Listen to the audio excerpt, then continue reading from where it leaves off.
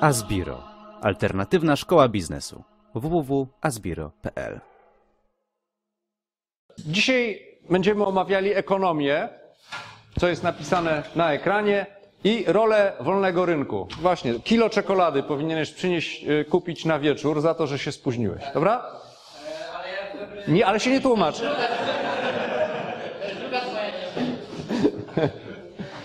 Dobra. Ekonomia. Sięgamy do Wikipedii, żeby dowiedzieć się, co to jest, y, jaka jest definicja, bo zawsze, jeżeli o czymkolwiek będziecie mówili, sprawdzajcie definicję. To jest podstawa. Jeżeli czegoś nie rozumiecie, to możecie klepać i, i klepać. Natomiast chodzi o to, żebyście wy przynajmniej wiedzieli, o czym wy mówicie z, z osobą, z którą dyskutujecie, albo tak? Czyli e, zaczynamy w ogóle zawsze od definicji pojęcia. To jest definicja z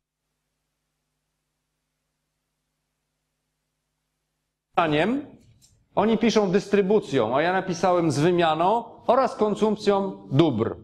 Taka jest definicja, króciutka i już. Wytwarzamy, konsumujemy i wymieniamy się, tak?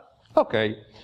Nie jest nauką ścisłą, czyli można pleść farmazony, tak? Bo o ile w matematyce można dokładnie wszystko powiedzieć, to tutaj tak jakby oni się zastrzegają, że to nie jest nauka ścisła. Ja uważam, że ona jest bardzo ścisła, tylko celowo robi się, żeby nie była ścisła. No, Ale zatem, za chwilę o tym będziemy mówili. E, Posługuje się jednak aparatem matematycznym, głównie metodami ilościowymi i tak dalej, czyli takie, takie o. E, Teraz skąd się wywodzi? Jaka jest etymologia, czyli pochodzenie tej nazwy? Ekonomia. Ekonomia wywodzi się oczywiście z greki, tak jak wszystko się wywodzi z greki, i tłumaczy się jako oikos, co znaczy dom, i nomos, czyli prawo, reguła. Starożytni Grecy stosowali ten, de, tę definicję do określenia zarządzania własnym domem. Państwo, firma, zarządzanie firmą, zarządzanie państwem. Państwo to jest też duża, tak jakby firma, duży dom, w którym mieszka nie cztery osoby, nie trzy osoby, tylko czasami kilkadziesiąt milionów. Tak postrzegamy ekonomię, tak? Jakieś słupki, ktoś tam mówi, rośnie dyskonto, dywidenda, akcje wzrosły, akcje spadły, wszyscy się tym podniecają. O, to jest właśnie ta ekonomia, tak? To jest ekonomista, to jest ten na- naukowiec ekonomista. A powinniśmy postrzegać tak, zgodnie z definicją. To jest wytwarzanie. Wytwarzamy, no Obama, do, wytwarzamy, produkujemy, ale sekundę, proszę nie przerywać. Produkujemy, wymieniamy, to są zagadnienia transportowe i wymiany, oraz konsumujemy. No tutaj mamy Obamę, a tu kogo? Też naszego. Tak, dobra. Konsumujemy sobie. Dobra, powinniśmy tak. Wyobraźcie sobie, że ja kiedyś byłem w waszym wieku. Możecie sobie to wyobrazić? Nie, niemożliwe. Dobra. Przyszedłem na studia techniczne na Politechnikę Warszawską i tam był przedmiot, który był obowiązkowy, to była ekonomia polityczna. Okej, jak piękna nazwa, zaraz do tego dojdziemy. No i powiedziano tak, w pierwszym semestrze będziecie panowie studiowali, bo tam dwie panie tylko były, ekonomią, ekonomię polityczną socjalizmu, ona miała chyba 600 stron, a w drugim semestrze ekonomię polityczną kapitalizmu, która miała 200 stron. Już się zastanowiłem, co to jest, dlaczego jest taka różnica. Potem zacząłem czytać, no bo skoro kazali, no to czytam. Nic nie zrozumiałem z ekonomii politycznej socjalizmu, ekonomii politycznej kapitalizmu w ogóle nie studiowałem, bo to się nie opłacało. Jakoś się tam zaliczało bez, bez e, zupełnej wiedzy. Facet, który wykładał nam ekonomię e, zarówno jedną, jak i drugą, gdy zapytałem go, proszę pana, co to są akcje? No to mi nie wytłumaczył. Okej. Ale się zapytałem, no dobrze, a przynajmniej może mi pan powiedzieć, ile taka akcja kosztuje? No popatrzył na mnie jak na idiotę, tak jakbym ja powinien to wiedzieć od razu od samego początku, e, po czym powiedział, to jest bardzo różnie, a proszę nie zadawać głupich pytań. No i się skończyły tak jakby moja, mo, moja przygoda z ekonomią na studiach. Dobra. Dlaczego mamy dwie ekonomie? Keynesowską, czyli twórcę teorii interwencjonizmu państwowego, który mówi, że państwo powinno interweniować, i Ludwika Misesa, zwolennika liberalizmu gospodarczego, czyli który twierdzi, że w ogóle państwo nie powinno ingerować w nic. Mamy dwie ekonomie, one się, ci ekonomiści z jednej strony, z drugiej strony spierają się, dyskutują y, i tak jakby, no a kryzysy jak były, tak są i nic się nie zmienia. A skąd do ekonomii dokleiło się jeszcze słowo polityczna i jak zmieniło ono sens ekonomia? Pamiętacie, co to jest ekonomia? To jest y, zarządzanie domem. Wytwarzanie, wymiana i konsumpcja, tak? Posz- Poszukiwanie tych y, procesów, zarządzanie domem. Okej. A teraz popatrzcie. Polityka. Polityka, mnogość, różnorodność, polis, miasto, państwo. Pojęcie właściwe naukom społecznym, rozumiane na wiele różnych sposobów. Znowu mamy definicję, która jest rozumiana na wiele różnych sposobów, ale każdy sobie gębę wyciera właśnie tym, tym stwierdzeniem. Polityka. U Arystotelesa jest rozumiana jako rodzaj sztuki rządzenia państwem, którym, którym, której celem jest dobro wspólne. Nowożytna definicja polityki Maxa Webera, polityka to dążenie do udziału we władzy lub wywierania wpływu na podział władzy, czy to między państwami, czy też w obrębie państwa, między grupami ludzi, jakie, jakie to państwo tworzą. Istotną właściwością polityki jest odwoływanie się do przemocy. Bo w sferze stosunków politycznych groźba przemocy i ewentualnie jej zastosowanie jest jednak swoistym środkiem, a zawsze, e, gdy inne środki zawodzą, środkiem ostatecznym. Dobra, polityka to jest dążenie do władzy, bo władza jest największym dobrem. Jak mam władzę, to mam wszystko. Jak mam pieniądze, to pieniądze mogą mi zabrać. Kto mi może zabrać? Władza i złodziej, nie? Okej, dobra. Mówimy o konsumpcji, o wymianie, tak? Oczywiście jest dobrowolna wymiana, ale też ktoś nam może wziąć i coś zwinąć. No, to też jest pewnego rodzaju wymiana, o której należałoby mówić. Dobra. Polityka to jest dążenie do władzy, ekonomia to jest nauka o wytwarzaniu, produkowaniu, wymianie i konsumpcji, a ekonomia polityczna to jest polityka, wszyscy szarpią ropę, a ekonomia polityczna, znowu w Wikipedii, to jest nauka teoretyczna o, o charakterze pozytywnym, służąca poznaniu i opisywaniu rzeczywistości. Ma wskazywać środki służące do osiągania celów oraz stosowane metody posługiwania się tymi środkami. Co znaczy o charakterze pozytywnym? Właśnie. Nauka ma. Właśnie. Bardzo dobre pytanie. Bardzo dobre pytanie. Popatrzcie, jaka głupia jest ta, ta definicja, tak? Poza tym, ekonomia to jest wytwarzanie, polityka to jest dążenie do władzy, a ekonomia polityczna to jest nauka jakaś o charakterze pozytywnym, która służy do poznania rzeczywistości. Ekonomia pozytywna to też jest pojęcie. Tak? No dobra. Rozumie, rozumiesz tą definicję, czy nie? To oznacza taką ekonomię, która próbuje narzucać właśnie jakiś, y, jakąś zmianę. Jakąś zmianę. Dobra. Ale tu jest ekonomia, tu jest y, nauka, to, to nie, nie jest ekonomia, tylko jest nauka o charakterze pozytywnym, tak? Dobrze? Nauka teoretyczna o charakterze pozytywnym. Popatrzcie, ja uczulam. Tak, ja was uczulam. Jeżeli o czymkolwiek rozmawiacie, studiujcie definicję. Już na samym etapie poszukiwania definicji znajdziecie masę nieścisłości.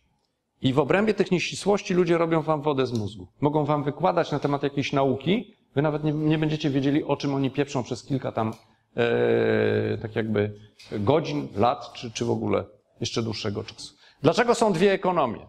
To jest dobre pytanie na egzamin. Jak będziecie mieli egzamin, to e, ja to pytanie zadam. Dlaczego są co najmniej dwie ekonomie? Bo tych ekonomii to jest o wiele więcej. A przecież ile powinno być ekonomii? Jedna, nie? Tak samo jak jest jedna matematyka, historia jedna powinna być, ale nie jest. Dobra. Zacznijmy od tego, co, co mówi tak jakby austriacka szkoła ekonomii. Zaraz sobie powiemy, że jest taka szkoła jakaś tam. Ale zacznijmy od faktów oczywistych. Każdy obiekt żywy absorbuje zasoby i zostawia po sobie potomstwo. To jest cecha obiektu żywego. Teraz, fakt drugi. Obiekt żywy, który tego nie zrobi, kończy swój łańcuch sukcesji, tak? Czyli w momencie, kiedy obiekt żywy nie zostawia po sobie potomstwa, no to kończy łańcuch sukcesji. Każdy z was jest elementem bardzo, bardzo długiego łańcucha sukcesji, dlatego że macie mamy i tatę. Każdy tata ma swoją mamę, swojego tatę. Ci dziadkowie też mieli swoich poprzedników, tak? To są fakty oczywiste. Absorbujemy zasoby, jecie, pijecie, tak jest. Słuchacie, co ja mówię? To też jest zasób, informacja. Pochłaniacie tą informację. Możecie pochłaniać informację w sposób pasywny, czyli ona do was dociera i już, albo w sposób aktywny. Ja chcę pójść posłuchać tego gościa. Ja chcę pójść do Asbiro, bo tam mówią to, co mnie interesuje. Aktywnie poszukujecie tego, co was interesuje. To samo idziecie do sklepu, kupujecie to, co chcecie zyskać, to, co chcecie zaabsorbować. Teraz tak, ludzie działają, aktywnie absorbują zasoby. W rzeczywistości zawsze mamy jakąś potrzebę działania. Musimy, no nie możemy usiąść i nic nie robić, tak? Bo po 24 godzinach zostaniemy głodni, stwierdzimy, że jesteśmy głodni, no to będziemy chcieli coś zjeść. Żeby coś zjeść, no to trzeba będzie zadziałać, tak? Nie możemy siedzieć w, nie, w nieskończoność i czekać, aż ktoś nam włoży kanapkę do ust, potem da popić i jeszcze pozwoli się wysikać. Dobra. Piramida potrzeb. Wszystko to, co jest na zielono, to jest to, co ja, do czego ja doszedłem sam. Nikt mi o tym nie mówił. Tak jak pamiętacie, studiowałem ekonomię i ta ekonomia mi się tak za bardzo nie zgadzała. W związku z tym ja zacząłem mocno dociekać, o co w tym wszystkim chodzi. Zielone e, definicje będziecie mogli sobie znaleźć na mojej stronie tak zwanej fizy- fizyki życia. Otóż w rzeczywistości zawsze mamy potrzeby działania. Zaspokajamy głód, pragnienie, szukamy schronienia, chcemy komuś zaimponować lub się zabawić, lub ewentualnie uzyskać rozgłos. I w związku z tym działamy. Coś tam robimy. O piramidzie potrzeb zaraz powiemy. Ci, którzy nie mają potrzeby działania, kończą swój łańcuch sukcesji. To znaczy ci, którzy aktywnie czegoś nie robią, no to nawet do tego, żeby mieć potomstwo, to trzeba tą partnerkę znaleźć. Jeżeli się nie znajdzie partnerki, tak, no sama się nie znajdzie. Chociaż może się czasami zdarza. Ale generalnie ci, którzy nie, nie działają, kończą ten łańcuch sukcesji i tyle. Działanie zaspokaja potrzeby, ale potrzeby każdego z nas są różne. Dlatego każde działanie wartościujemy. Tak?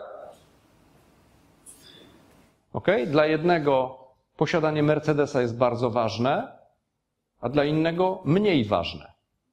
Dzisiaj, jeżeli byście powiedzieli, byśmy zapytali, przeprowadzili sondę, co jest dla każdego z Was w tej chwili najważniejsze, co by chciał mieć, to się okaże, że nie wszyscy chcą mieć pałac ze złotymi kranami, tak, który ma 16 tysięcy metrów kwadratowych, bo jest ktoś, kto chce mieć jacht. I tyle. Tak? To, czyli nie ma czegoś takiego, żebyście wszyscy, wszyscy, żebyśmy chcieli tego samego. Mamy, przywiązujemy do, do zasobu, przywiązujemy różną wartość. Wartość. Proszę?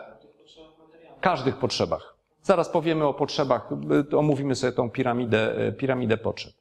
Wartość jest subiektywna, tak? Czyli wartościujemy to, co pochłaniamy, to, co absorbujemy, ale nie wszyscy chcą tego samego. Oczywiście chcemy jeść, ale nie każdy lubi parówki. Kto inny się koncentruje na przykład na ziemniakach. Woli jeść kapustę z y, burakami, a kto inny wo- woli zjeść steka. No bo po prostu sobie to wartościujemy. Wartość jest subiektywna. Teraz, jedno z podstawowych pojęć ekonomii, zasób. Tak, bo produkujemy zasoby, pochłaniamy te zasoby, właśnie o tym żeśmy mówili. Najprostszy, najprostsza klasyfikacja zasobu jest następująca. Zasób składa się z materii, energii i informacji. Czy ktoś by coś jeszcze dodał do tego? Czasu. I czasu.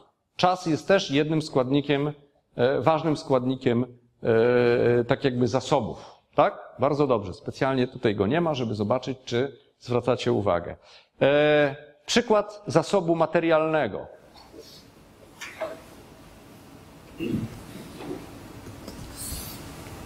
Po, proszę?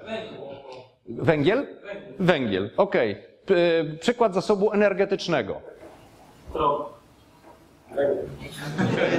ciepło pochodzące z węgla, tak? No bo węgiel to jest, y, to jest właśnie tak jakby ta, ta materia, a jak już spalimy go, no to w tym momencie mamy to ciepło. Ono jest tam transformowane, znaczy prze, przenoszone do grzejników y, za pomocą wody. Przykład zasobu informacyjnego. Rachunek za energię, na przykład. Jak spalić, jak spalić krzesło, to jest przykład jakiego zasobu? i informacyjnego. No bo ta materia jest jakoś tam zorganizowana, tak? Proszę? Możemy je spać. Możemy, ale to wtedy je przekształcimy, tak? Znaczy ono ma w sobie jakąś tam energię. Okej, dobra. Podstawa, zasób składa się z materii, energii, informacji i czasu. Czas jest naszym takim pojęciem. Dobra. Jedziemy. Kluczowe pojęcia w ekonomii. Zasób, produkcja, wartość, w domyśle subiektywna i wymiana. Tak? Ekonomia to ekonomia. Zasoby. Zasoby to są dobra plus usługi. To jest materia, energia plus informacja, tak jak żeśmy powiedzieli.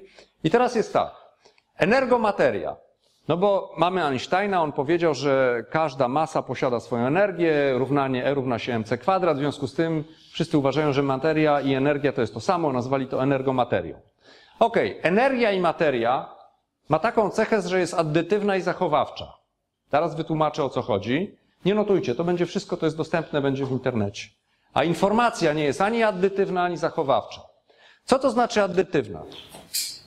Można dodawać. Można dodawać do siebie. Oczywiście weźmiemy 2 kg węgla i dodamy do 3 kg węgla, mamy 5 kg węgla. Wszystko na ten temat. Teraz weźmiemy informację, książkę z ekonomii i dodamy y, do książki z y, fizyki, no to te informacje się nie dodadzą, tak? Bo, bo informacja właśnie jest taka, no, no nie jest dodawalna i tyle, jej się nie dodaje. Natomiast co to znaczy zachowawcza, że energomateria jest zachowawcza?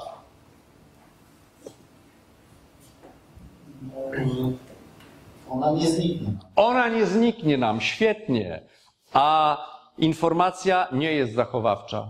I tyle. I już mogę coś wiedzieć albo nie wiedzieć, tak? Mogę się otruć grzybami, bo nie wiem, że one są trujące. Mógłby Pan powtórzyć tylko to, dlaczego informacji nie da się dodać do siebie? Bo się nie da dodać. Z definicji. Znaczy, bo, bo przekształcimy samą informację, bo sposobów dodawania jest bardzo dużo, tak? Można dodać łańcuch, bo informacja jest de facto łańcuchem stanów. W ten sposób mamy jeden łańcuch stanów, doklejamy drugi łańcuch stanów i wynikowy łańcuch stanów no, no jest różny od nie wiadomo co to jest. Można dodać o w ten sposób, tak? Czyli zupełnie w ogóle tą informację zgubimy, ona będzie zupełnie inna. No i tyle. Taki jest charakter informacji. Dobra. Teraz tak, pojęcia e, dosyć istotne, e, o których mnie nie uczono. Rezergia to są za, zasoby niezbędne do realizacji celu obiektu żywego. Obiekt żywy, pamiętacie, absorbuje dotąd, aż się powieli, tak? Czyli wszystko to, co jest niezbędne do tego, żeby się powielić, to jest tak jakby zasób konieczny, nazywamy re, e, rezergią. Dezergia to są zasoby pożądane przez obiekty żywe. Przykładem rezergii jest na pewno odżywianie, czyli to podstawowe odżywianie, którym, się, którymi, którym musimy nasycić siebie, żeby doprowadzić do tego, że będziemy mieli potomstwo. Natomiast jeżeli chcemy już odżywiać się kremem i bitą śmietaną, no to to już jest dezergia, tak? Bo to, to tak jakby do życia absolutnie nie jest potrzebne, tak? Arabom wystarczy paczka daktyli, Chińczykom garść ryżu, e, no a wojska amerykańskie potrzebują już Coca-Coli i takich innych różnych rzeczy, tak? Czyli troszeczkę inaczej. Z kolei inne decyzje są weszły. Proszę? No na przykład. Znaczy nic to tak, coś tam na pewno potrzebują. W każdym razie jest rozróżnienie od zasobów koniecznych, zaraz to zobaczycie na e, przykładzie piramidy potrzeb, od zasobów takich, które nam się tam, no, ubranie, tak? Ja muszę mieć marynarkę? Nie, no jakieś ubranie muszę mieć, pro, o wiele prostsze by wystarczyło, tak? Dobra. Wartościowanie. Teraz omówimy sobie to zagadnienie. Pierwszym, który to sensownie opisał, był Karl Menger, 1840 roku urodzenia, nauczyciel Ludwika von Misesa. Wartość jest pojęciem subiektywnym, każdy z nas może wartościować inaczej. Oczywiście. Karol Marx stwierdził, że wartość jest równa ilości pracy włożonej w wyprodukowanie. E, W związku z tym konkludował, że wartościowi są tylko i wyłącznie robotnicy, natomiast cała reszta na nich pasożytuje. Tak? Dobra, no. Tak było. I w związku z tym, w związku z tym, ale e, co zrobił? No, robotnicy stwierdzili, tak, to trzeba tą całą resztę wyrżnąć, tak, i zająć ich miejsce. No i tyle, taki chwyt zastosował. Okej. Wartościowanie zależy od stanu posiadania. Im mamy czegoś więcej, tym mniejszą stanowi to dla nas wartość. To jest taka prawda też obiektywna. Teoria kosztów komparatywnych. Teoria wyjaśniająca mechanizm obustronnie korzystnej wymiany zasobów w sytuacji niższych kosztów produkcji po stronie jednego z partnerów wymiany. Y, To sobie zanotujcie, dobrze, teoria kosztów komparatywnych i sobie przestudiujcie w y, tym, w Wikipedii. U mnie na stronie też to jest y, pokazane. To jest pewna sprawa, która mi otworzyła oczy w zupełnie innej dziedzinie, w biologii. Dlaczego my jesteśmy stworzeni z komórek, które są zróżnicowane?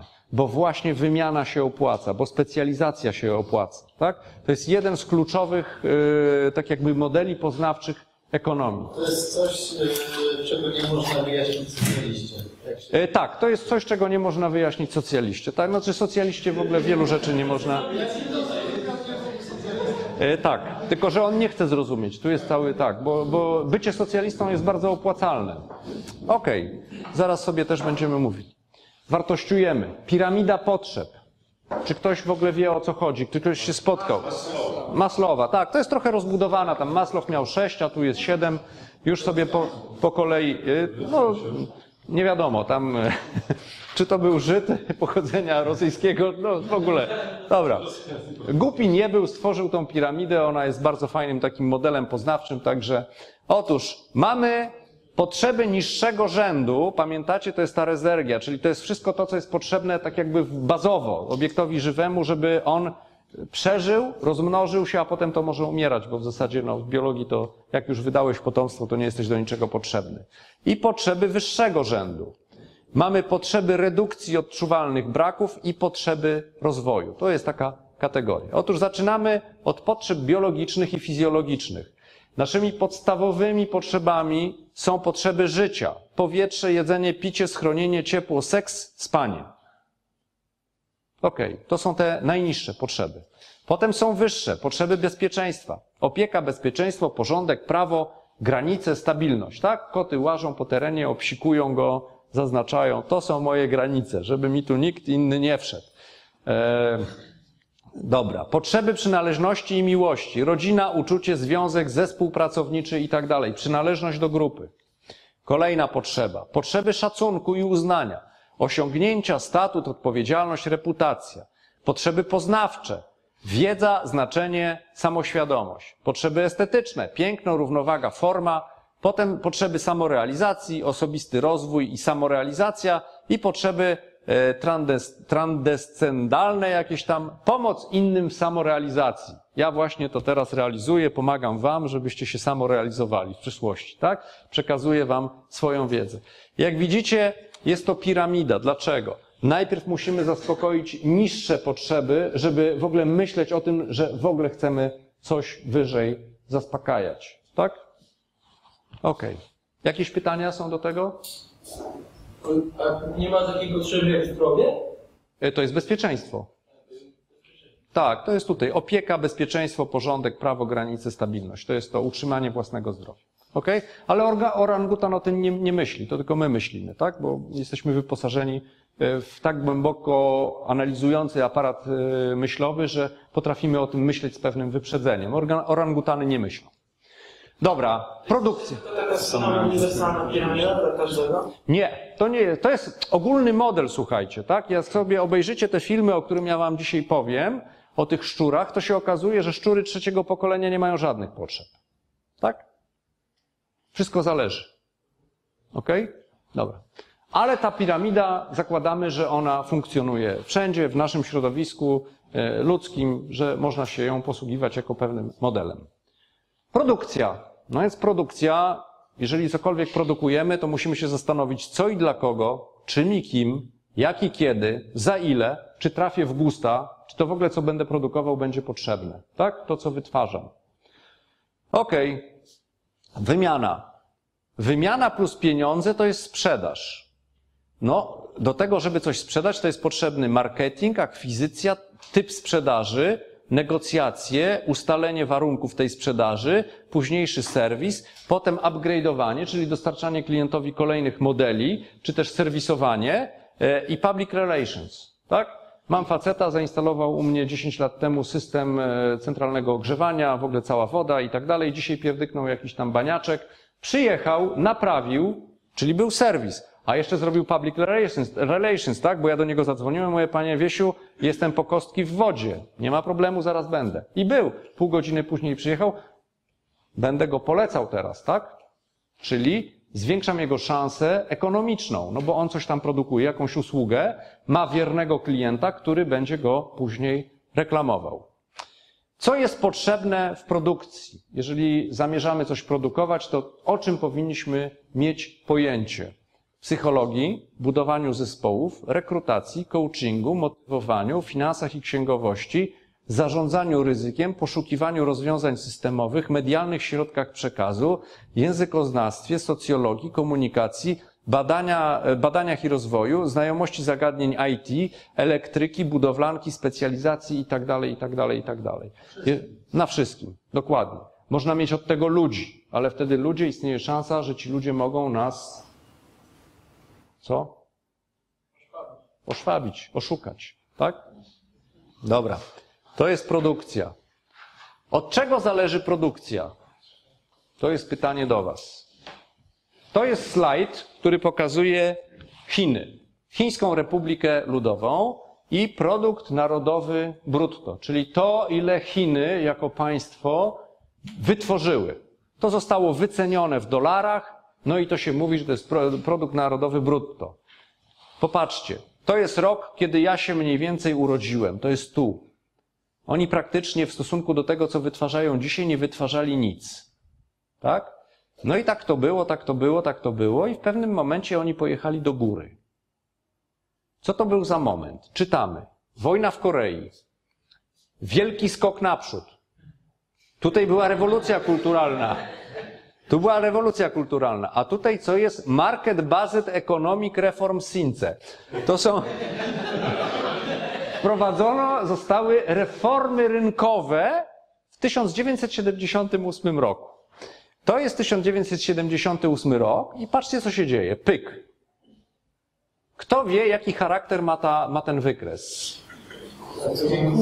Wykładniczy, wykładniczy, to rośnie, to się podwaja, tak? Dzisiaj było 4, jutro jest 16, pojutrze jest 32, 64, 128, 250, zapieprza do góry, tak? Oczywiście zaraz to się skończy, bo wej- wejdą inne czynniki, no ale cóż się stało, słuchajcie, kto mi wytłumaczy? Od czego zależy produkcja? Pytanie ogólne.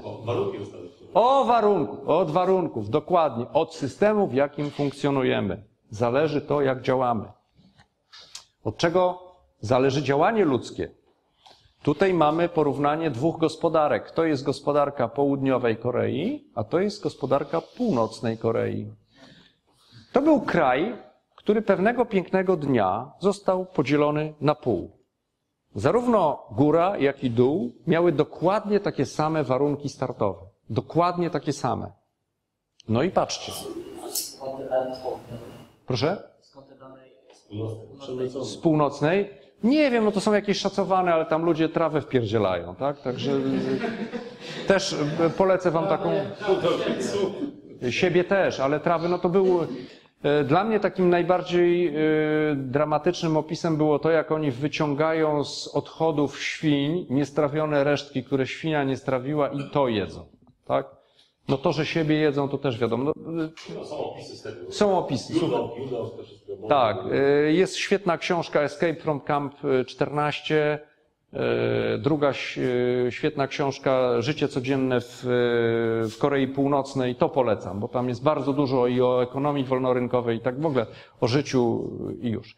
To jest facet, to jest żołnierz NRD-owski, który ucieka na stronę zachodnich Niemiec. Kto wie, kto to było, co to było NRD? Tak, Niemcy też zostały podzielone. Rosyjska strefa. Z rosyjskiej strefy. Okej. Czyli zarówno ludzkie działanie, jak i rozwój gospodarczy zależy od tego, od warunków narzuconych przez system, w którym funkcjonujemy. Czyli możemy stworzyć takie warunki, w którym ekonomia będzie się rozwijała, a możemy stworzyć takie warunki, w których ona będzie szła w dół, absolutnie w dół.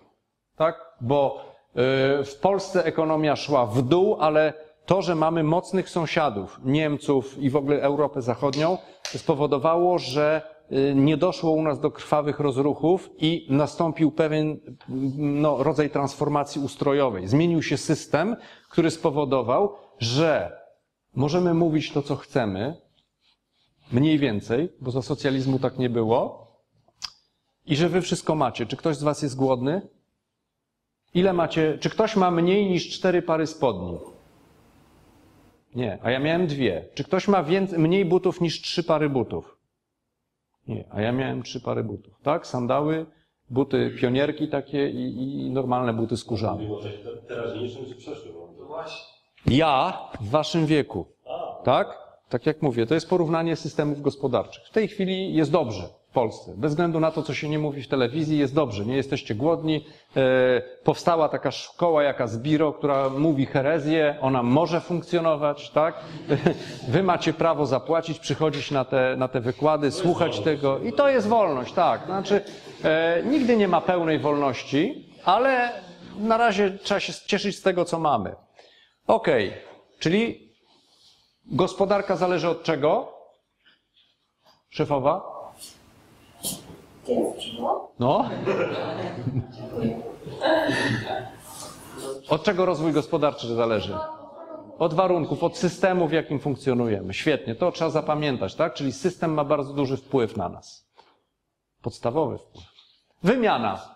Okej, mam dobro, wyprodukowałem i muszę teraz je wymienić. Wyjdziecie do sklepu, kupujecie. Więc tak, zasób może zmienić właściciela poprzez kradzież, grabież, rozbój lub dobrowolną wymianę. Kradzież. Wyjęcie spod własności właścicielskiej, znaczy wyjęcie zasobu spod, yy,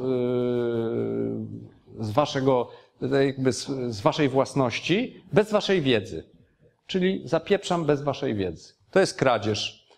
Grabież, wy wiecie o tym, a ja pomimo to was zabieram. I już, i wy nic nie możecie. A rozbój to już muszę wam przywalić, tak? I wtedy dopiero zabrać, jak już nic nie, nie możecie zrobić. Ktoś się zgadza z tym, czy nie? Tak można zmieniać zasób, czy y, właściciela? Czy są jeszcze jakieś inne? Ja się zastanawiam nad szantażem. Y, Szantaż to jest no grabież, tak? Czyli tak jakby ty, ja cię szantażuję, ty wiesz, ja ci to zabieram, a ty o tym wiesz. Nie? Ale to jest szantażem takim, że ktoś coś posiada i ja tak delikatnie daję się do zrozumienia, szantażuję. To jest koniec grabież. To jest grabież. Daję to sam niby dobrowolnie, tak? Ale Yy, Okej, dobra, możemy powiedzieć tak, to zaraz przejdziemy do tego, to jest punkt drugi. Przeczytałeś punkt drugi, łobuzie, słuchajcie. Nie, teraz się nie tłumacz. Dobra. Dobrowolna wymiana, przynajmniej w teorii, jest korzystna dla obu stron. Tak? Wszyscy ekonomiści wolnorynkowi, gdyby tu był Janek Fior, to by wam mówił, że dobrowolna wymiana to jest najlepsza na świecie, nie ma i tak dalej, i tak dalej. Ona ma też swoje haczyki.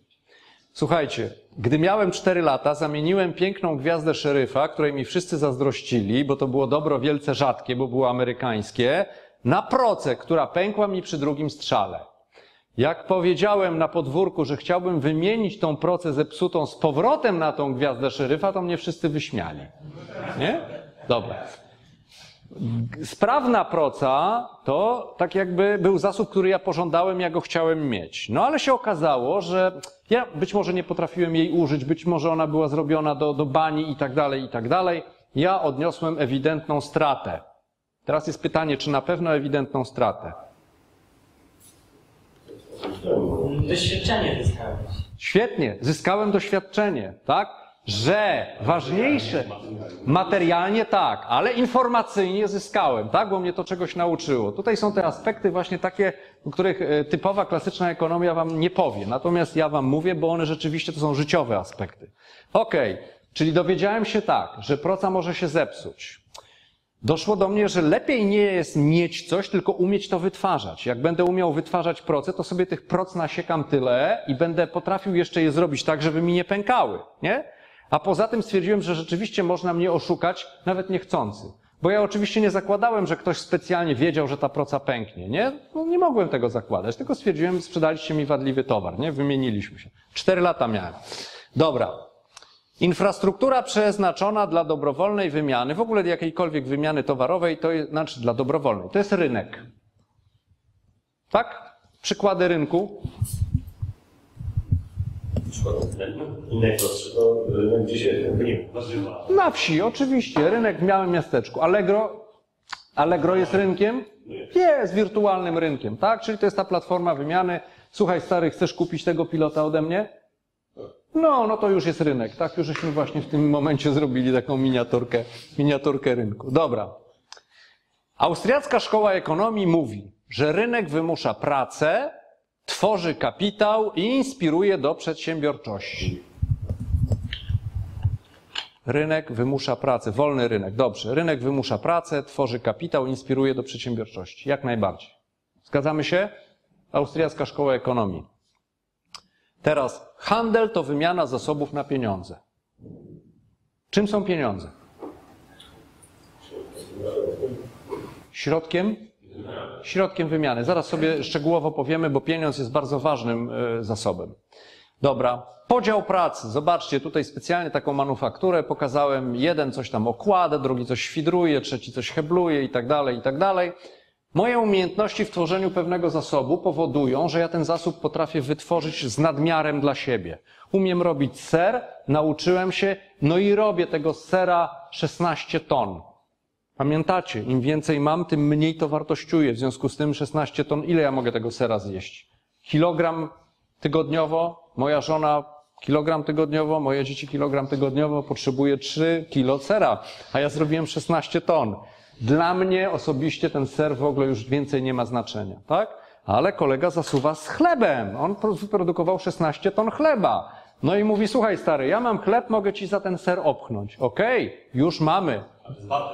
Proszę? Dobrze, ale wymiana. Ja nie mówię barter. Co wy? Ja jeszcze tego słowa nie wprowadziłem. Jeszcze nie wiemy.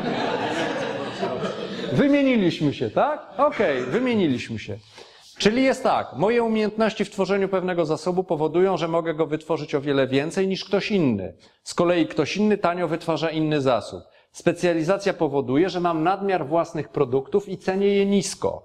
U innego producenta jest tak samo, tylko w obrębie innego zasobu. W związku z tym jest to naturalna zachęta do wymiany, tak? Kto robi z was masło? O, kolega, tak? No to już we trójkę. Ty, ty, w białej koszulce, ty robisz masło, ty robisz chleb, ja robię ser, tak? Możemy się wymienić i każdy z nas będzie miał bułkę z masłem i z serem, nie? Jeszcze piwo szukamy czwartego do, tej, do tego bałaganu. Okej. Wymiana powoduje, że cała nasza trójka odniosła korzyści, tak? Bo dawniej ja jadłem tylko ser, ty jadłeś tylko chleb, ktoś inny pił tylko piwo, a teraz mamy cztery, tak? Teraz, dlaczego to jest korzystne? Teoria kosztów komparatywnych to, to tak, żeśmy się umawiali, już przestudiujecie we własnym zakresie. Dobra. I teraz uwaga. Fundamentalny podział ludzi. Tego wam żadna ekonomia nie poda. Makersi, takersi. Tak? I ty produkujesz chleb, ja ser, ty masło. My jesteśmy makersami, bo my coś robimy. Cała reszta nie robi nic. Oni by tylko chcieli zapieprzyć. W związku z tym wymyślają ideologię, że wszystkim porówno. I przychodzą do ciebie i mówią, dawaj nam tutaj wszystko. Okej, a co robisz wtedy ty? Pouczam. Nie, przestajesz produkować, bo oni są silniejsi, ich jest więcej, zauważ. Dobra. Uwaga! Uwaga! Na żadnej wykładzie z ekonomii nie, ekonomiści nie używają takich słów jak kradzież, oszustwo czy przymus. E, Ekonomiści wolnorynkowi mówią o przymusie, tak, ale tak jakby mówią, że to jest złe i w ogóle niedobre i tego nie powinno być. Ale zarówno kradzież, oszustwo, jak i przymus występują w, rela, w realnej ekonomii. O tym musicie wiedzieć. Bo cóż to jest realna ekonomia? To nie jest ekonomia akademicka, tylko to jest rzeczywiście to, co się dzieje wokół nas. Kradną ludzie, czy nie kradną? Kradną. Jedni kradną tak, że trafiają do ciupy, a inni kradną tak, że coraz wyżej pną się po szczeblach kariery. Poli- różnej. Bo to... no. Dobra, w związku z tym pamiętajcie, że kradzież, oszustwo i przymus musicie uwzględniać w sprawach y, związanych z ekonomią. Dobrze. Oni nie mówią o tym. A jest coś takiego, za co musicie płacić? Pełno. Abonament. Tewi- nie musisz płacić abonamentu telewizyjnego. Ale zaraz, nie musisz oglądać telewizji. Sekundę, kto ci każe? Proszę? A, za chwilkę? Okej, tak, tak, z nowym projektem. I w związku z tym, tak? To tak jak ja bym powiedział, że ja produkuję ser, ale a ty byś powiedział, że go nie chcesz jeść, a ja bym powiedział, ale co z tego, no to... Masz jeść mój ser. Masz jeść. Nie, nie masz zapłać. To tak samo Dobra, świetnie czujecie sprawę wolności gospodarczej, tak? Jest przymus zakupu pewnych rzeczy, pomimo że ekonomiści generalnie no, w radiu i telewizji nie, nie usłyszycie słowa przymus, tak? Czy kradzież. E, Ja jeszcze mam jedno pytanie do pana, bo ostatnio rozmawiałem tam z kolegami i oni powiedzieli, że kradzież, że jak nie płacę podatku, to jest kradzież, nie? y, zaraz przejdziemy do tego. A ja powiedziałem, że jak można uznać złodzieja. Zaraz mam prośbę. Poczekaj, poczekaj. E, Mam prośbę, żeby, y, żebyś mi to pytanie zadał na koniec, dobrze? Bo to jest szersze pytanie i y, to może ktoś inny przypomni. Dobra, jedziemy. Podaż i popyt. Im więcej ludzi poszukuje danego towaru, pożąda, potrzebuje pewnego zasobu, to to się nazywa popytem. Tym większą stanowi to zachętę dla innych, żeby ten zasób produkować i sprzedawać. I to się nazywa podaż. Podaż pilotów w tej chwili na tym rynku jest jeden pilot. To jest podaż. Czy jest jakiś popyt na ten pilot? Ja tego nie sprzedaję, on jest mój. Jest, jest jakiś popyt? Nie ma. Nikt nie. Nie, już zrozumiałem. Już zrezygnował. Już się rozmyślił, tak? Zasób czasu, zasób czasu. Tak? Okej, czas. Dobra. Prawo popytu. Przy założonych e, stałych e, warunkach danego zasobu, czyli tego zasobu jest tyle samo, wraz z wzrostem jego ceny zapotrzebowanie nań maleje, a wraz ze spadkiem ceny zapotrzebowanie rośnie. Czyli im cena jest niższa, tym więcej osób może ten zasób kupić, tak? Im jest wyższa, tym mniej. No takie jest prawo popytu i to jest prawdziwe prawo. Ktoś je tam odkrył i ono jest, e, jest. Natura człowieka uczciwego. Pamiętacie, że każdy obiekt żywy absorbuje zasoby, czerpie z zasobów. Optymalizujemy czerpanie z zasobów. Przy wymianie chcemy więcej za mniej, najlepiej wszystko za nic. Tak? Dlaczego biegacie po marketach? Nie biegacie. Żeby, żeby kupić taniej. Ale tak? już wtedy nie jest wymiana. E, No tak, to już wtedy, znaczy wymiana bez, tak jakby dla, druga strona nie odnosi korzyści. Ale generalnie, gdybym ja powiedział, że mam teraz nowy model Mercedesa i chcę ci go dać. Nawet jakbyś nie miał prawa jazdy, to byś powiedział OK, bo byś go sprzedał za kilkadziesiąt tysięcy złotych, prawda? Czyli byś się zgodził. Nie ma, nie ma problemu. Szukamy, optymalizujemy, mamy telewizor do kupienia, to się zastanawiamy, tak? Jaki kupić, jaki wybrać, żeby było tanio i dobrze, żeby było najlepiej, żeby było coraz, żeby był lepszy niż u sąsiada i tańszy niż u sąsiada, tak? Optymalizujemy. Okej. Macie inne zdanie na ten temat, czy nie? Nie? Ktoś z Was wydaje garściami pieniądze charytatywnie? Każdy, nawet socjaliści. Nawet socjaliści. W jakiś tam sposób. Wartościujemy, tak? Nie ma takiej samej optymalizacji. Znaczy, generalnie podstawą optymalizacji, że chcemy więcej za mniej, a już jak to robimy, szacujemy sobie, tak? Okej. Co z lepszym za więcej? Co to znaczy? Będzie lepszy produkt, ale będzie więcej kosztował, bo wiem, że dłużej wytrzyma. E, No to też, to już według mojej wartości, tak? Ja jak robię inwestycje, to na początek e, inwestuję w najtańszy e, sprzęt, czy najtańszy produkt, po to, żeby się nauczyć tego produktu, co on, czym on może mnie zaskoczyć. I potem przy następnej inwestycji wiem, czego poszukuję. Okej? Natomiast też są fachowcy, którzy potrafią mnie przekonać do czegoś, co jest bardziej kosztowne. Tak jest. otrzymuje. Otrzymuję. Ja mojemu hydraulikowi wierzę, jak mi powiedział, że pompa kosztuje 1100 zł, powiedziałem, panie Wiesiu, pan instaluje, ja mam do pana zaufanie. No i tyle. No, mam, może się przejadę na tym zaufaniu, nie wiem, ale do tej pory mam i wszystko to, co mówił, to się sprawdza. Okej. E, Właśnie, pytanie. Macie schłodzić pewne pomieszczenie i macie do, e, możliwość zakupienia, musicie kupić klimatyzatory. To lepiej jest kupić klimatyzator niezawodny, japoński, niezawodny, za cenę 10 tysięcy, czy dwa chińskie za 3 tysiące. No Ale zależy jak długo one będą działać. Jak będzie gorzej, chcemy korzystać z nich. Kwestia oczywiście definicji nie- niezawodności, Tak. tak dalej. Dobra, dobra, No dwa zużywają więcej prądu. tak. Nie, dwa kupujesz po to. Nie, nie, to ja zrozumiałem, że jeden działa, a drugi jest na zapas. Tak, tak. Co byście kupili? Proszę bardzo. Kto by kupił jeden za 10? Jeżeli nie to ja Jeden za 10. Za 10. Dobrze, a kto by kupił dwa za 3? Serwis dostępny i gwarancja? Serwis dostępny i gwarancja, dokładnie. Okej. Czy są urządzenia niezawodne? Nie? Kto by kupił, kto by kupił jeden niezawodny? Dalej, tak? Potrzebuję. Dobra. To jest kwestia właśnie tej niezawodności. Dobra. Po co? E, w teorii gier budowanie systemów niezawodnych z zawodnych elementów polega na czym? Że się je powiela. Dlatego macie tyle komórek w mózgu, słuchajcie. Dlatego mamy parę oczu, mamy parę nerek i tak dalej, i tak dalej. W amortyzatorach y, szansa, że jedna część pójdzie dwa razy w obu jest bardzo mała. Tak jest. W związku z tym, jeżeli mamy czas reakcji serwisu 24 godziny, to, to po prostu bardziej, no i, i taniej, tak? No i tyle. Dobra, ale w naszej grupie, w naszej populacji są cztery osoby, które jednak by zastosowały rozwiązanie pierwsze. I teraz jest tak, czy warto je przekonywać do naszego rozwiązania? Nie, życie pokaże, tak? No i tyle. Każdy jest wolny, każdy może zrobić, tobie pierdyknie ten serwer i trudno, tak? Dobra, bo się, bo się go, bo nie schłodzisz pomieszczenia. Dobra, natura człowieka uczciwego. Słuchajcie, na mojej stronie jest pełno. Tam jest, ja w ogóle nazwałem to, jak, jakimi my jesteśmy perfidnymi stworzeniami, to nazwałem ahamkara. To jest pojęcie z, z jakiegoś filozofii dalekowschodniej, sprawca ja. Jak postrzegamy świat, dlatego że jesteśmy my nami, tak? Kali ukraść krowy, ka- kalemu ukraść krowy to jest zły uczynek.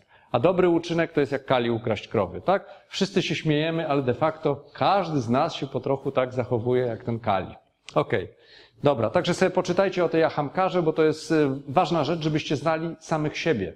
Jak się zachowujemy, a jak będziemy znali samych siebie, to też będziemy wiedzieli, jak się cała reszta wokół nas zachowuje. Dobra, prawo pracy.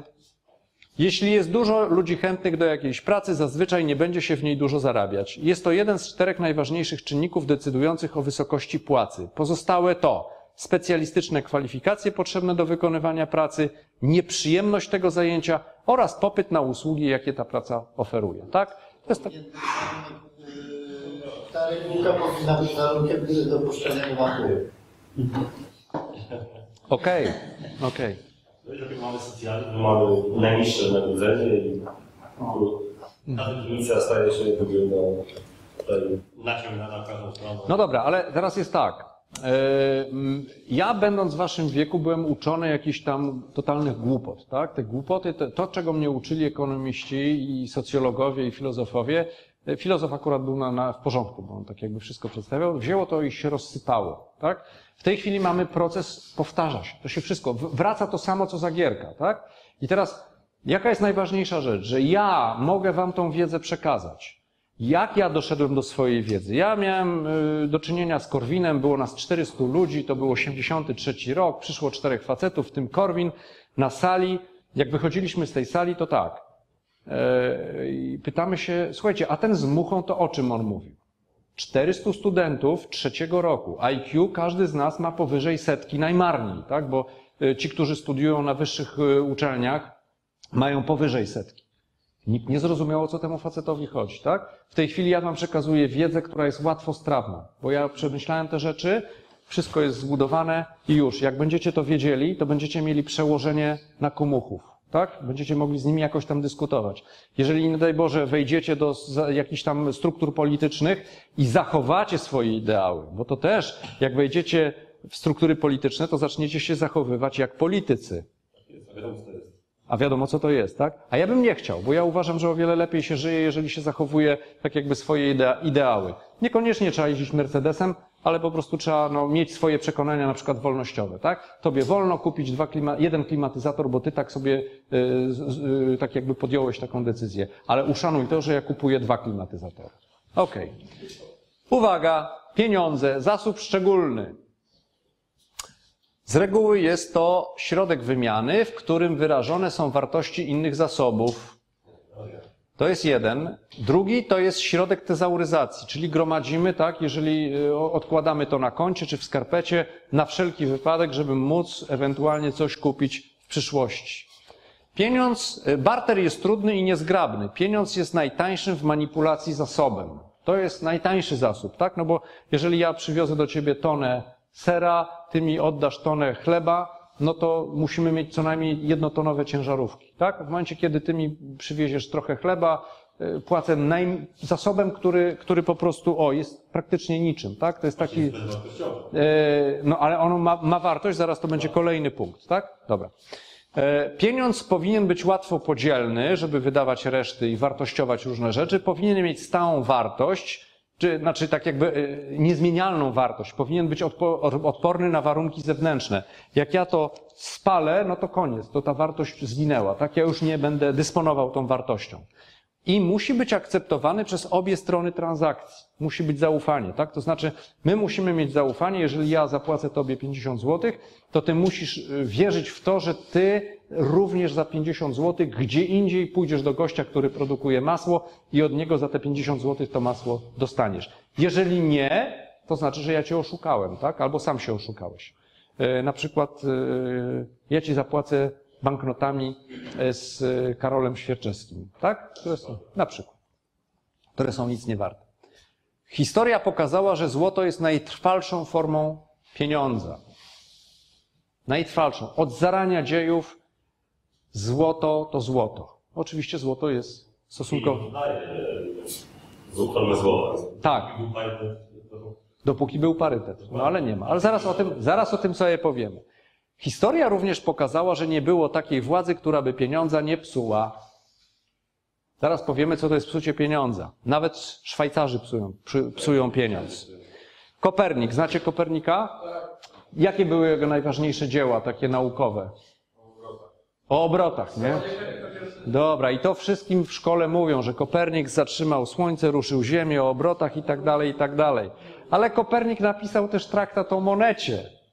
On zauważył, że ci, którzy rządzą państwem pruskim chyba wtedy, robią inflację. Po prostu dodają do pieniądza coś takiego, żeby tego pieniądza było więcej. No i on o tym napisał, tak, że to jest niedobre dla gospodarki. Wcale nie Mizesy i jakieś tam inne, te, on to napisał. Tak? Tak. Słuchajcie, w Rzymie to tak rozpuszczali tą, tą walutę rzymską, że potem państwo, które było monopolistą i wybiło tą monetę, nie chciało w tej monecie brać podatków, bo ona była nic nie warta. Nie? Dobre, dobre. Okej. Jedziemy. Inflacja. W Wikipedii, szukamy co to jest Wikipedia, to proces wzrostu ogólnego poziomu cen. Profesor Kwaśnicki zrobił takie badanie, też rzucił, y, zadał pytanie, to był test i się okazało, że 60% Polaków uważa tą definicję za definicję inflacji. Tak? Okej, mniejsza o definicję, trzeba zrozumieć sam proces, o co tu chodzi. E, Tutaj ci e, Anglicy piszą bardzo podobnie, przy czym oni zmienili. Szkoda, że ja nie mam e, definicji sprzed e, 4-5 lat, bo była inna. Teraz została zmieniona i oni też piszą, że to jest ogólny poziom cen, tutaj rosną, ale jeszcze dodają, że to odzwierciedla to, że spada siła nabywcza pieniądza. Tak? To jest ta inflacja. 100 złotych. Kiedyś to się potrafiłem za, 100, za te 100 złotych utrzymać przez cały dzień, a potem 10 tysięcy, to jest 100 tysięcy, e, to jest milion, tak. E, Potem na, w ciągu miesiąca zarabiałem 3,5 miliona i jak dostałem podwyżkę na 4 miliony, to byłem bardzo zadowolony, tak? A tu za stówkę to były te same pieniądze, to był ten sam bank. E, te banknoty mogłem zamienić na ten banknot, tak? Tylko, że on tracił na wartości. Tu się mogłem utrzymać cały dzień, a potem już nie wiem, czy bilet mogłem kupić tramwajowy. Dobra. Inflacja to proces rozwadniania pieniądza realizowany zwykle przez tak zwaną władzę państwową, która działa na rzecz dobra społecznego. Oni mówią, że oni właśnie robią instrumenty finansowe, żeby pobudzić gospodarkę, no i właśnie dokonują procesów inflacyjnych, które są niczym innym jak dodrukiem pustego pieniądza. Ja bym też chciał drukować pusty pieniądz, tak, bo bym sobie drukował i od was wszystkich kupował, czyli i koniec, dokładnie, no, ale Czyli, że ta definicja to jest jak gdyby zniesienie odpowiedzialności społeczeństwa, przeniesienie na państwo. Rozwadnianie to jest... Tak, ale dlaczego jest ta pierwsza definicja? No bo co robi państwo? Ono zwala całą winę na producentów, tak? społeczeństwo, I społeczeństwo jest przekonane, że to są te skurczyny, które produkują, no że oni podnoszą cenę, tak? Dzisiaj przychodzi do mnie facet i mówi, proszę pana, piece grzewcze poszły o 130%, tak? No i teraz normalny człowiek myśli, no tak, skurczybyki podnieśli cenę. a to przecież po prostu się w obiegu pojawiło więcej pieniądza. Bo generalnie ceny produkowanych urządzeń spadają, ale nie mierzone e, poziomem pieniądza, który, którego ciągle przybywa. Tak? Inflacja 2,2. Inflacja w pięciu krokach. Emitujemy papiery wartościowe o wartości odpowiadającej zapasom złota z gwarancją natychmiastowej wymiany tychże papierów na złoto o wartości, na którą opiewają. Tak? Mam kilo złota, emituję papier i mówię, stary, daję ci ten papier. W razie jak będziesz chciał, to mi oddasz, a ja ci dam złoto. Tak? Znaczy jeszcze inaczej. Ja mam jakieś tam złoto i mówię tak, jak dasz mi kilogram złota, ja ci dam taki papier, który mówi, że ja ci oddam kilo złota, jak ty mi ten papier oddasz. Tak? Dobra. Sprawiamy, by te papiery wartościowe stały się prawnym środkiem płatniczym. Czyli mówię tak, słuchajcie, możecie korzystać z tych papierów, kiedy tylko przyjdziecie do mnie, ja wam zł- złoto oddam. Nie ma problemu, wymienię na te papiery. Okej, wszystko gra i buczy. Ograniczamy całą wymianę wyłącznie do tych papierów. Zakazujemy emisji kon- konkurencyjnych papierów i barteru. I mówię tak, nie możesz, bracie, pójść do niego kupić masła, wymienić na masło. Musisz użyć papierów wartościowych. Jeżeli wymienisz z nim barterowo, to popełniasz przestępstwo i obaj pójdziecie do więzienia. Tak? Śmieszne czy nieśmieszne? Nieśmieszne. W Korei Północnej dokładnie tak jest. Tak, znaczy to zależy od, od y, etapu. Co dalej robię? Emituję dodatkowe papiery wartościowe, które nie mają pokrycia w zgromadzonym przeze mnie złocie. I to jest właśnie ta inflacja. Inflacjo nadymać. Tak? Tu jest troszeczkę tak jakby niezrozumienia, no bo jak można pieniądz nadymać? My nie nadymamy tego pieniądza, my zwiększamy jego ilość, zwiększamy podaż pieniądza. Inflacja w Wikipedii to jest ogólny wzrost cen. Jest to termin przeciwstawny do deflacji, a definicja deflacji w Wikipedii to jest to, że jest to spadek wartości podaży, czegoś, yy, spadek podaży pieniądza, czy coś takiego. Czyli jak się zamknie kółeczko, to te definicje ze sobą zupełnie nie grają. Tak? Pamiętajcie, inflacja to jest psucie pieniądza i tyle. Natomiast y, wszystkie rządy mówią, że to jest poziom podnoszenie cen, żeby odsunąć od siebie jakiekolwiek podejrzenia. I ciemna masa to kupuje, ludzie to kupują. Tak? Oczywiście to są ci producenci, oni są źli. I teraz tu jest taki przykład, to jest termometr, który ma dwie skale. To jest coś takiego, jak ja bym podawał temperaturę za, e, zamarzania wody w skali, do której dodaję 100 stopni co roku. Czyli woda paruje w 100 stopniach w roku y, 2000, w 2001 ona paruje w, dwu- w 200 stopniach, e, paruje w 300 stopniach w 2002 roku, to jaka jest temperatura zamarzania wody w 2004? Trzeba było policzyć, tak? Ale na pewno nie zero, tylko o wiele więcej, tak? No i w związku... Ale inflacja się nie rozchodzi równomiernie. Oczywiście, ja nie mówię, że się rozchodzi równomiernie, nie? To, ale się rozchodzi, tak? Rozwadnia się. Okej, wolny rynek. Definicja wolnego rynku, cechy wolnego rynku. Nie widać, tak? To ja czytam. A że tylko od państwa zaczyna- zależy inflacja, czy to też są jakieś inne czynniki, że jednak yy, no, My też wpływamy na Więc tak, tu jest cała zmyła, bo dodali różnego rodzaju y, czynniki, które powodują wzrost cen. Skoro inflacja jest wzrostem cen, no to na wzrost cen wpływa bardzo dużo różnych czynników, tak? Między innymi to, że ja rozwadniam pieniądze, ale również na przykład, że piorun walnie w, y, w fabrykę masła. I koniec. W związku z tym tego masła jest mniej, cena idzie do góry zgodnie z prawem popytu, o którym żeśmy mówili, tak? I w związku z tym mamy taką jedną wielką ściemę. Nie jest prosto wytłumaczone. Oczywiście inflacja zależy od... Ale jak my rozumiemy inflację? O, o jakiej inflacji mówiłeś? Ale co to jest inflacja dla ciebie? nie, zmiana wartości pieniądza. No to, to ona tylko i wyłącznie zależy od tego, że ludzie ją rozwadniają, że władza ją rozwadnia. Natomiast jeżeli mówimy o wzroście cen, też dobrze, ale e, tak, ale teraz wróćmy do Szwajcarii, która też psuje pieniądz. Ja się zapytałem takiego Szwajcara, mówię, słuchaj, ponieważ u nas jest e, e, inflacja, tak, czyli wartość pieniądza maleje, to ja myślałem, że wy jako Szwajcarzy będziecie dbali o to, żeby wasza waluta była stała, żeby nie, nie ulegała, żebyście jej nie rozwadniali.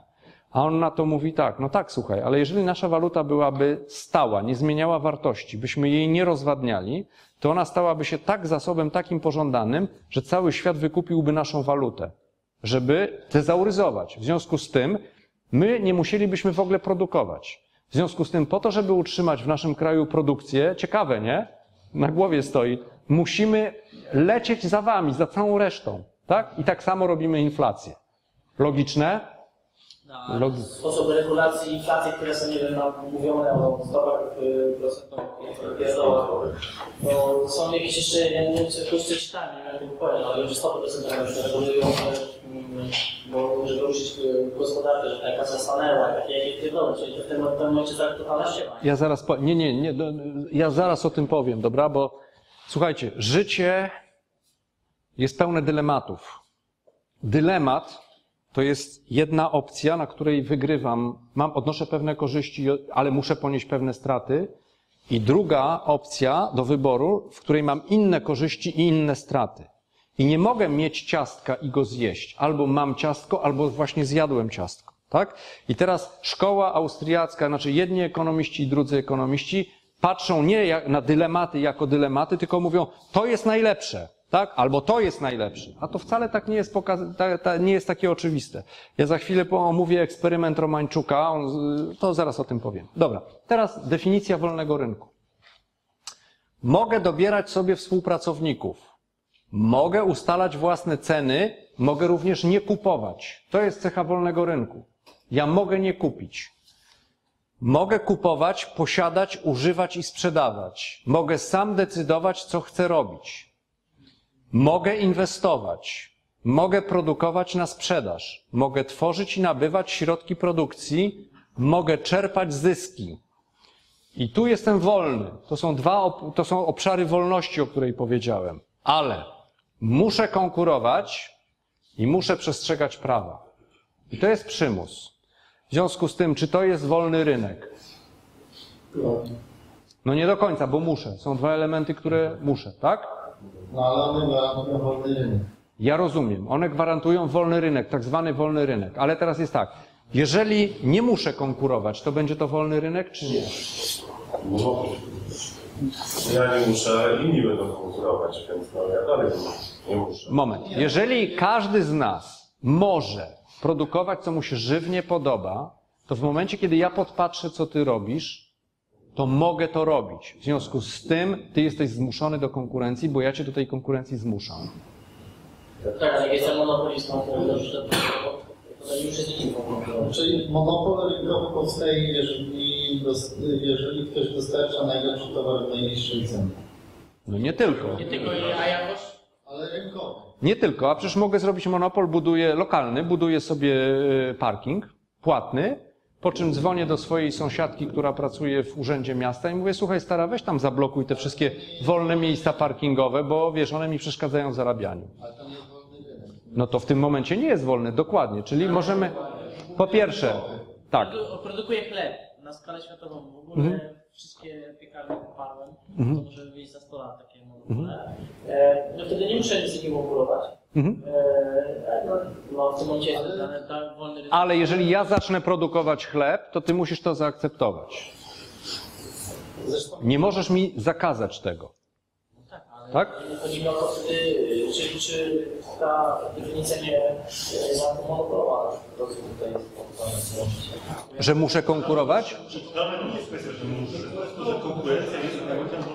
Tak, i ja nie mogę nic zrobić, żeby jej zabronić, tak? Czyli ja mam pełną wolność, ale nie w obszarze zabraniania konkurowania ze mną. Nie mogę tego zabronić. muszę, jako, że konkurencja jest elementem Okej, muszę zaakceptować. Prawa. Przestrzegać prawa. No, jakieś prawo muszę być. Czy ja mogę kraść? A ty możesz kraść? No nie, no to jest prawo, tak? Żeśmy ustalili. Podatki. E, Zaraz pójdziemy, poczekajcie, zaraz do tych... te dwa ograniczenia to jest takie stwierdzenie, że wolność mojej pięści jest ograniczona bliskością twojego nosa. No tak. No tak, ale to jest ta wolność, tak? Znaczy, ja jestem wolny do pewnego momentu, tak? No bo ty też jesteś wolny. W związku z tym zakładamy prawo, że ja ci nie mogę przypieprzyć, bo ja muszę moją pięść zatrzymać przy twoim nosie i na odwrót. Tak? Okej. A kiedy wygram z tobą? Czy sam nadużyję? Proszę? Nie, jak mu przywalę. Czyli jak złamie reguły gry. Ok? Bardzo fajnie się wygrywa, łamiąc reguły gry. Bardzo fajnie się wygrywa, łamiąc reguły gry. Zobaczcie małe dzieci, jak grają. One zawsze zmieniają reguły gry.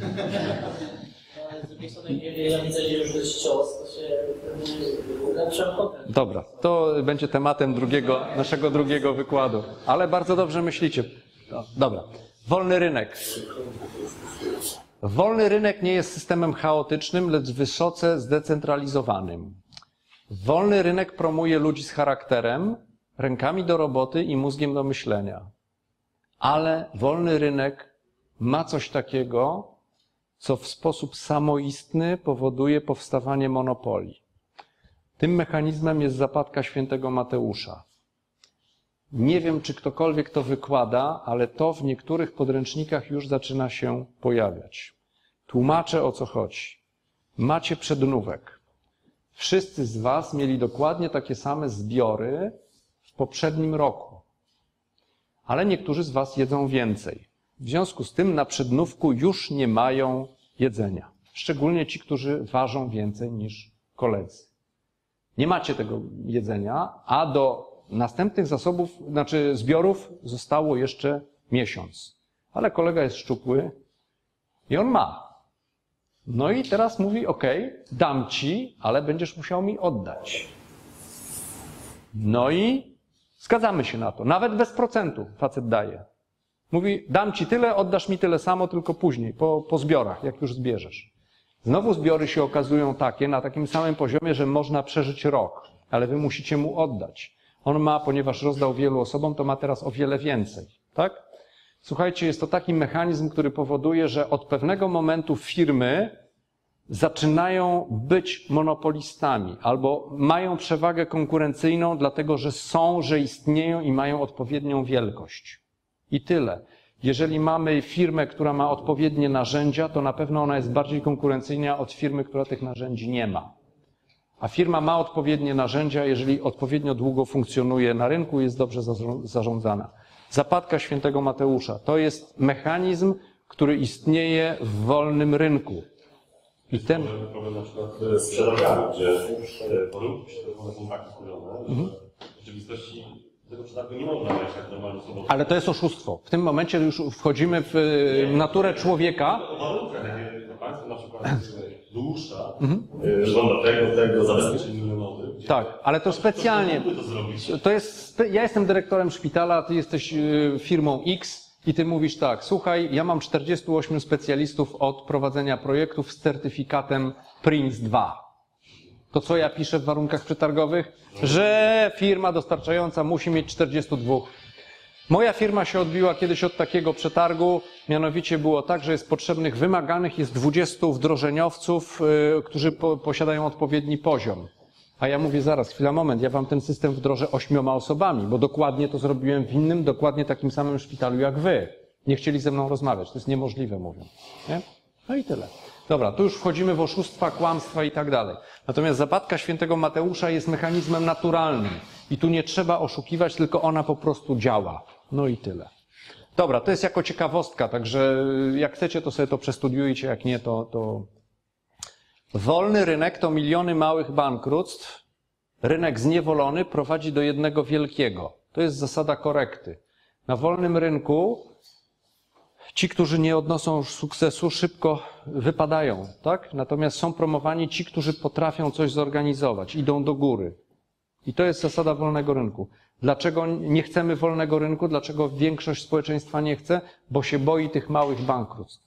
Tak? W związku z tym zgadza się, Z dofinansowaniem w Stanach y, tych fabryki, i tak dalej, tego wszystkiego.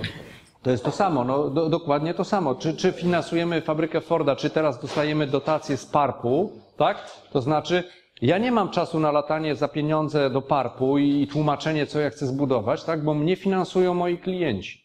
I ja widzę, moje działania są dobre, bo ja mam coraz więcej dochodu od moich klientów. W związku z tym ja wzmacniam swoje działanie. Tak? A tu idę do urzędu, mówię, stary, ja mam fajny pomysł, będę robił to, co Google, nie? Daj mi 3 miliony, nie ma problemu.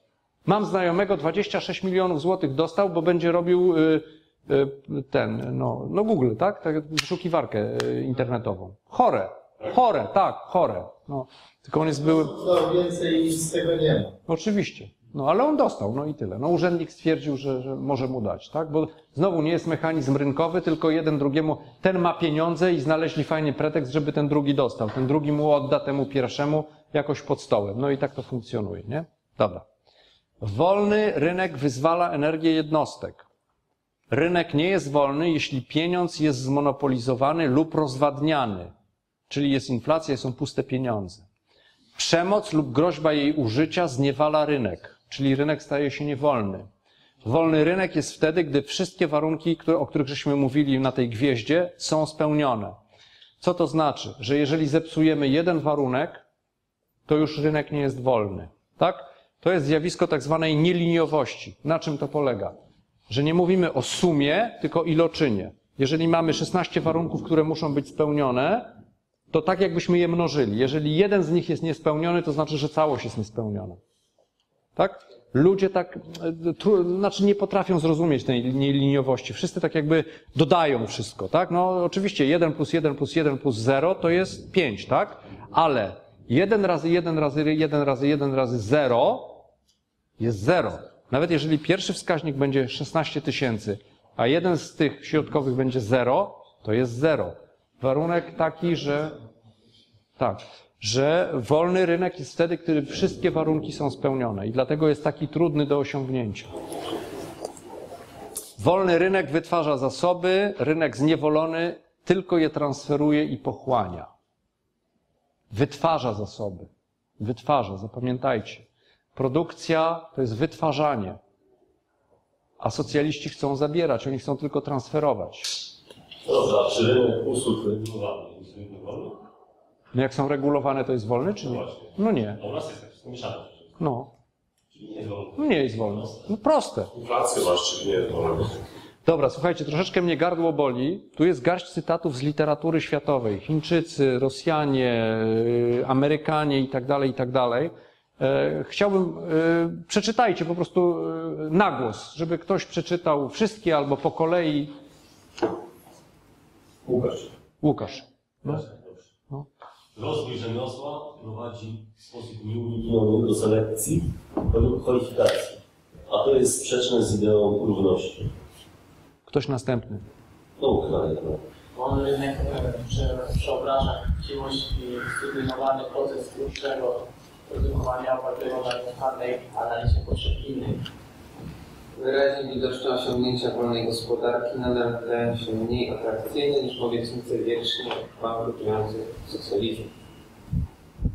Chińscy rzemieślnicy nigdy nie dorównali zachodnim zegarmistrzom. Brak było handlowej konkurencji i na środowisku. I tak najważniejsze automatyczne regulatory gospodarki, od których zależy cały rozwój i dobrobyt człowieka, zostały zamienione wszechprzenikającą strukturą biurokratycznego nadzoru i planowania, która de facto służy tylko utrzymywaniu i umacnianiu władzy.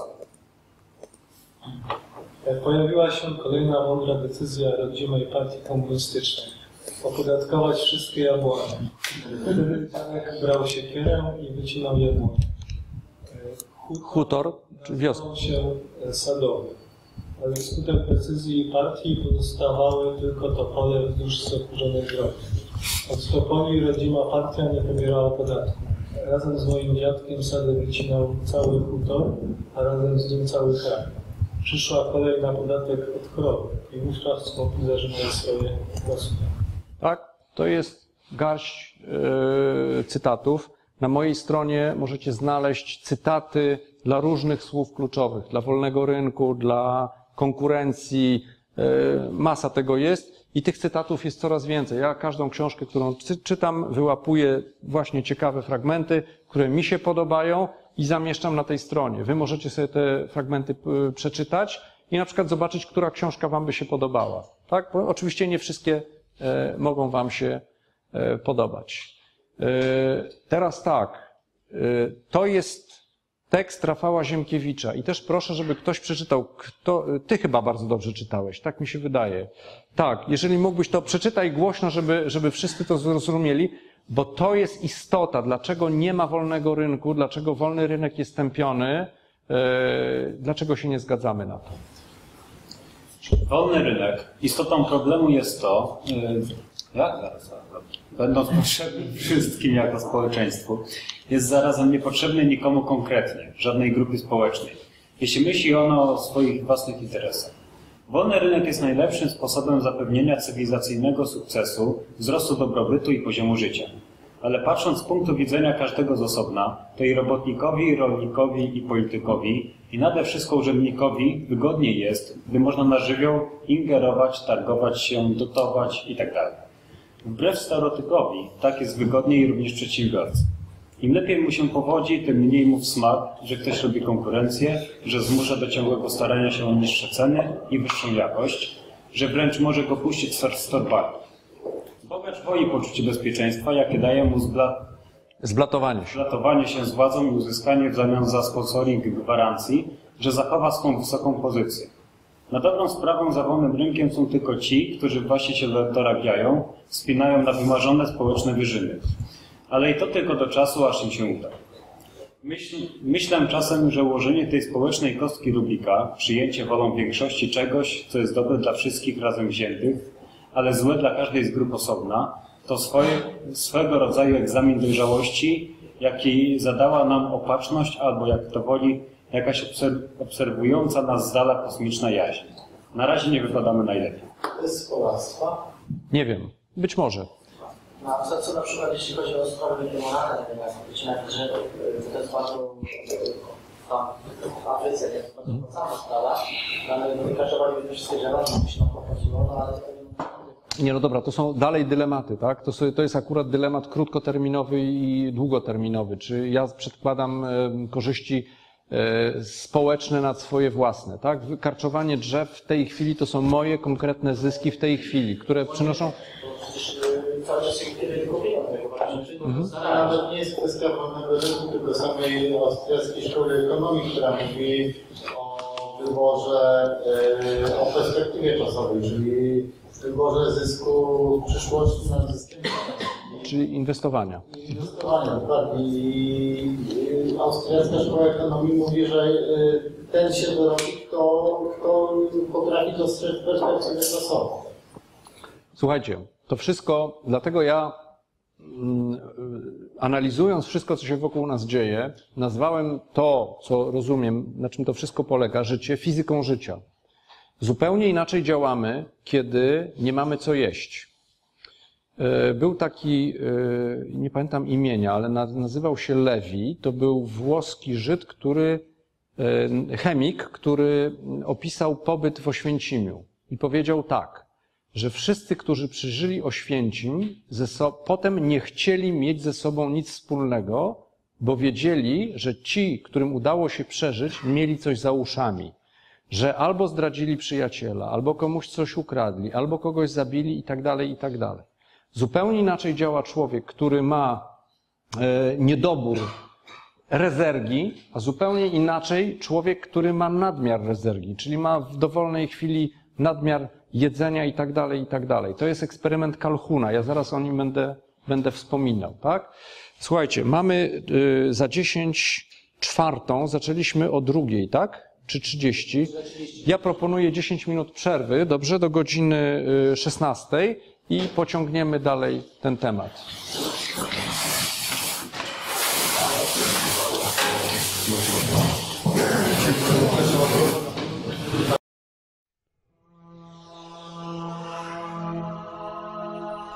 Asbiro.